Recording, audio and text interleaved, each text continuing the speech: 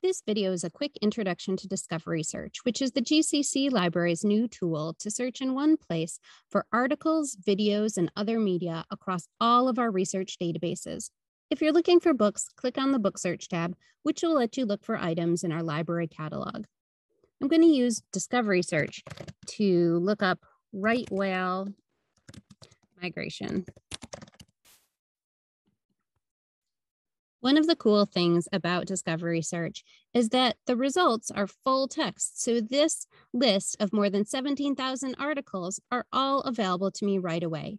If I wanted to see what else is available in the world about right whale migration, I would click this box that says add results beyond your library's collection.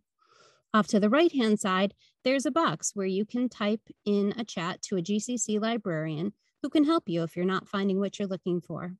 Off to the left, there are a bunch of different ways to narrow down your search. So for example, you can limit a date range. I'm gonna choose the last five years. You can limit by a content type. For example, newspaper articles, journal articles. There are also more options of content type if you click that more button below.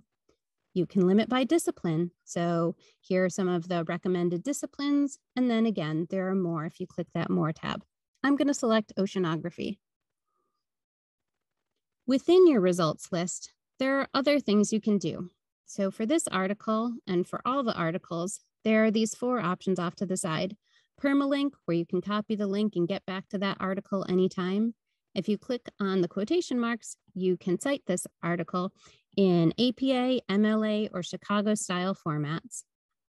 You can also email the article to yourself and also select the citation type that you want emailed and you can save the item for the duration of the time that you are in Discovery Search.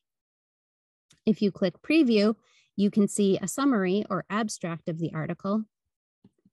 And then when you click the article link, the article title, if you're off campus and are not yet logged in, it will take you to a page that asks you to log into the library databases using your library card number and password. I'm already logged in.